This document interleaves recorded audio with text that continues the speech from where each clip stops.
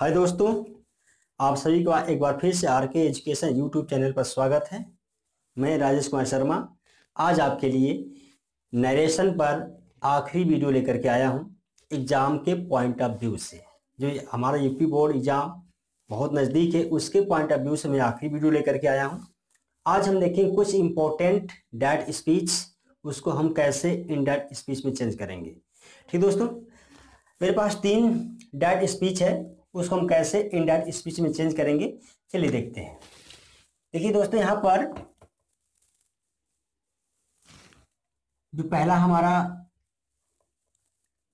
Dad speech है, यह यही father said to his sons father ने अपने बच्चों से कहा कि वेयर आर यू गोइंग तुम लोग कहाँ जा रहे हो? Where will you come back तुम लोग वापस कब आओगे? तो फादर ने क्या किया क्वेश्चन किया ना? जब क्वेश्चन किया तो जाए क्या? फादर आस्क्ड ही सन्स यहाँ पर जो क्वेश्चन वर्ड है, यही बनेगा कंजंक्शन वेयर यू बदलेगा सन्स के अनुसार, बनेगा वेयर दे वर गोइंग ठीक ना? एक और क्वेश्चन किया है तो उसको भी क्या कंजंक्शन बना देंगे? वेन विल यू है तो वेन दे विल का हो जाएगा वुड ठीक ना? कम बैक दोस्तों, ये ऐसे हो जाएगा और फुल स्टॉप हो जाएगा। अगला देखते हैं। The landlord said to the farmer landlord ने फॉर्मर से कहा कि गो अवे चले जाओ and do not stand at the door दरवाजे पर खड़े मत हो। तो लैंड लॉर्ड ने फार्मर को ऑर्डर कर दिया। और जो ऑर्डर कर दिया तो क्या हो जाएगा? दी लैंड लॉर्ड ऑर्डर्ड इसको ऑर्डर कर दिया? दी फॉर्मर को। क्या ऑर्डर किया? गो अवे हो जाएगा। To go away and and हटा देंगे इसको। Not to stand at the door ठीक दोस्तों ना? अब हम देखेंगे, एक और मेरे पास यहाँ पे डायलॉग है। डायलॉग दो लोग बीच चल रहा है, रोहन और सीता के बीच में। तो रोहन ने सीता रोहन ने सीता से कहा will you go to school today क्या तुम आज स्कूल जाओगी? सीता ने कहा नो फिर रोहन ने कहा, क्यों? फिर सीता ने कहा, क्योंकि I am not feeling well मैं अच्छा नहीं महसूस कर रही हूँ। तो यहाँ पर जब ऐसे डायलॉग आए तो उसको हम कैसे चेंज करेंगे, वो देख लेते हैं। तो क्या है पहला? रोहन आस्क्ड।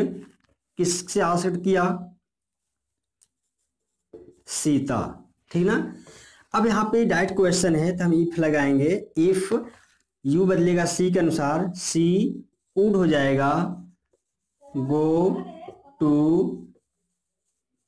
स्कूल टुडे है तो दैट डे फुल स्टॉप हो जाएगा। फिर सीता ने उत्तर दिया, सीता रिप्लाइड ठीक ना? किसने रिप्लाइड दिया?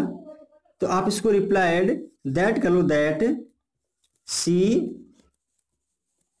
वुड नॉट ठीक ना? आप ऐसा कर लो, या आप चाहो तो इसको ऐसे कर लो, सीता रिप्लाइड इसको हटा करके आप इसको ऐसे भी कर सकते हो, सीता रिप्लाइड इन नेगेटिव ठीक दोस्तों ना, आप चाहो तो उसको ऐसे भी कर सकते हो सीता आंसवर्ड इन नेगेटिव ठीक ना? फिर से रोहन ने क्वेश्चन किया तो लिखोगे आप रोहन आस्क्ड अगेन रोहन ने दोबारा पूछा दोबारा पूछा ना तो हम अगेन कर देंगे. रोहन आस्ट अगेन यार इसको ऐसे कर लो आप, थोड़ा अच्छा और क्लियर हो जाएगा. Rohan again asked again asked क्या तो अगेन पूछा? वाई ठीक ना? वाई वाई मैंने क्यों क्यों स्कूल नहीं जाओगी? Why she would not go to school that day उस दिन वो स्कूल क्यों नहीं जाएगी? फुल स्टॉप दोस्तों, मैं थोड़ा वीडियो सही कर दूँ, शायद नीचे दिखाई नहीं देगा।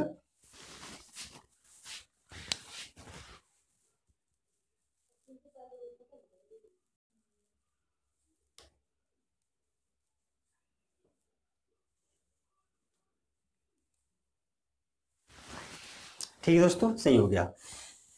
तो फिर सीता ने दोबारा रिप्लाइड किया। यहाँ लिखेंगे हम, सीता अगेन रिप्लाइड सीता ने दोबारा रिप्लाइड किया। क्या रिप्लाइड किया?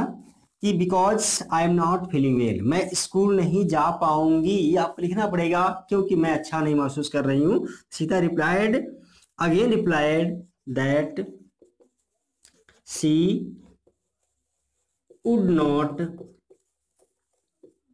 go to school ठीक ना स्कूल नहीं जा पाएगी बिकॉज़ क्योंकि अब आप लिखोगे I am not feeling well हो जाएगा she was not feeling well ठीक दोस्तों ना, इसको दोबारा समझ लें हम। रोहन ने रोहन ने सीता से कहा कि तुम will you go to school today क्या तुम आज स्कूल चलोगी? सीता ने कहा नो रोहन ने कहा, क्यों? सीता ने कहा, क्योंकि मैं अच्छा महसूस नहीं कर रही हूँ।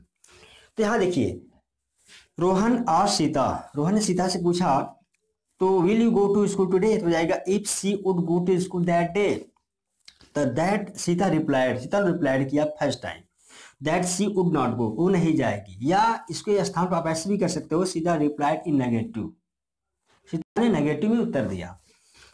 रोहन दोबारा पूछा तो Rohan again asked why she would not go to school that day तो सीता ने भी तो अगेन रिप्लाइड किया, फिर से रिप्लाइड किया। तो लिखेंगे लिखेंगे हम Sita again replied that she would not go to school school नहीं जाएगी। ठीक है because she was not feeling well क्योंकि अच्छा महसूस नहीं कर रही थी। यहाँ पे दैट डे छूट रहा था। यहाँ पे मैं दैट डे ऐड कर दे रहा हूँ। सॉरी ठीक है ना? क्योंकि अच्छा महसूस नहीं कर रही है। दोस्तों, ये हमारा एग्ज़ाम के पॉइंट ऑफ़ व्यू से आखिरी वीडियो था। मैं आपके लिए हमेशा वीडियो लाता रहूँगा। हर एक नए टॉपिक पर, हर एक नए नए चीज़ जो चेंजेस होते रहते हैं या पैटर्न चेंज होते रहते हैं स्पेशली सेकेंड पार्ट के लिए। मेरा काम अभी फ़र्स्ट पार्ट पर भी होना बाकी है। मैं शुरू जल्दी से करूँगा। तो मेरा अभी तक जो काम फोकस है वो सेकेंड पार्ट के लिए है। तो मैं एग्ज़ाम के पॉइंट ऑफ़ व्यू से आपके लिए हर संभव प्रयास करने के लिए तैयार हूँ मैं। तो अगर मेरा वीडियो आपको पसंद आ रहा है तो आप इसे लाइक ज़रूर करें शेयर भी करें और अब तक सब्सक्राइब नहीं किए मेरे चैनल को तो आप मेरे चैनल को सब्सक्राइब ही करें। तब तक के लिए धन्यवाद। मिलेंगे अगले वीडियो में। और इसके बाद लेकर के आएँगे आपके लिए इंटरमीडिएट क्लास के लिए सेकेंड पार्ट में जो सिंथेसिस टॉपिक होता है, हम उसको लेकर के आएँगे। ठीक दोस्तों, आप मेरा वीडियो कॉन्टिन्यूस देखते रहिए।